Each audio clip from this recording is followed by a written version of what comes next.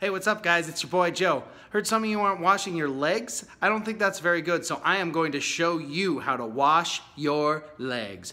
Oh yeah.